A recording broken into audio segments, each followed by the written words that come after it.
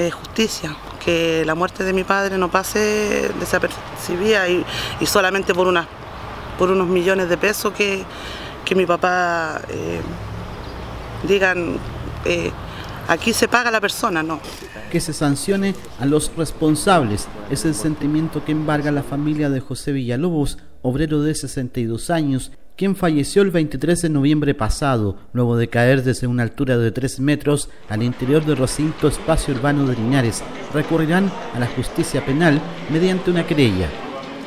Esto nos afectó mucho ya que él era eh, parte importante. Eh, yo tengo un hermano de 19 años y él era el que, el que era pilar fundamental para él y un gran apoyo para mí, para mis hijos y para, para mi madre con su enfermedad que ella lleva cinco años con un cáncer y, y, él era el que cubría todos los gastos de ella.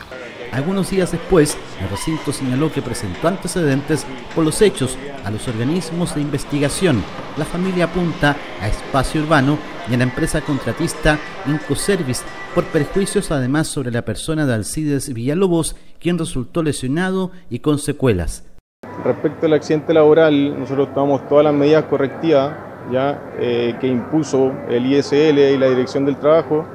Se presentó toda la documentación legal y eh, hoy en día estamos en regla con todo y operando normalmente. El 23 de noviembre ellos estaban eh, trabajando en unos andamios de más de 4 o 5 metros aproximadamente, sin casco de seguridad, sin antiparra, sin zapatos de seguridad. La empresa no les prestó ningún implemento de seguridad eh, mi padre ese mismo día encontró un arnés botado en el sector del lugar, ya que el encargado que entregaba ese tipo de, de implementación no estaba.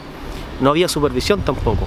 Los argumentos existen, según el abogado que representa a los familiares, para sustanciar la querella.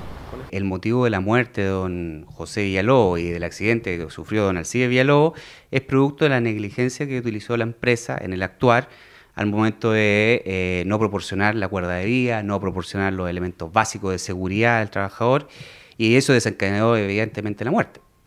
Y eso conlleva a dos delitos, el delito de cuasi delito de homicidio y el cuasi delito de lesiones. Ya está en marcha una demanda civil en el juzgado de letras Linares por una millonaria indemnización.